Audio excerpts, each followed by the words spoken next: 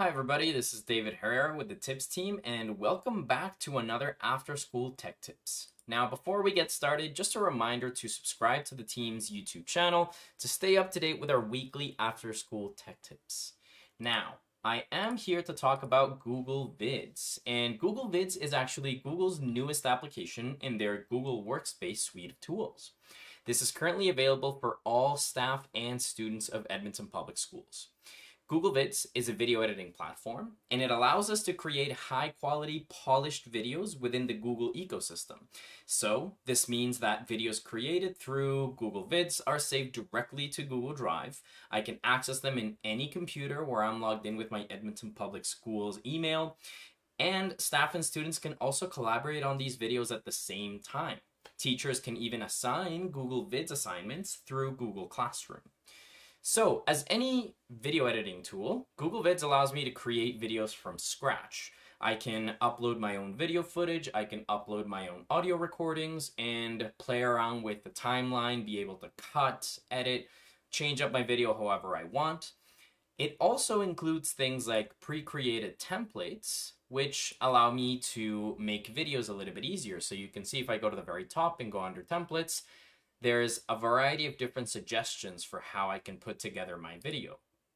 When I select a template, I can see different scenes, and this should look very similar to working with Google Slides, except for it's actually a video editing tool. So you can see that I get a variety of different scenes down here in my timeline, and I can actually start working within each scene, change the transitions, even add or remove audio.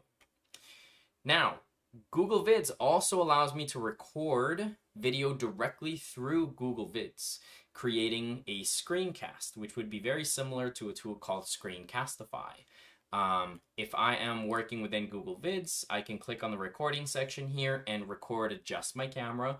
I can record my screen and my camera, and then also just record audio to do a voiceover of my video. Google Vids also gives me access to a vast library of stock footage. So if I head over here to stock media, you can see that there's a variety, of different videos, stock images, music, stickers that I can add to uh, give a little bit of life to my video as I'm working on it. Now, during the month of February, the TIPS team is going to be publishing a series of videos outlining the various features of Google Vids and diving deeper into how we can use this new tool. Google Vids even offers some extra features if you have access to the paid Google Gemini for Education. This is Google Gemini's AI tool. We will be releasing a video detailing those features later in the month of February. In the meantime, head over to Google Vids and check out how it works, play around with it, see if this is something that you could use for your own classroom as well. Now, that is it for today. Um, please also check out the fantastic support documentation created by Google that will be in the description. If you'd like to learn more and stay up to date with regards to EdTech tools, don't forget to subscribe to our channel or connect with a TIPS member for them to come out and do some professional learning at your school.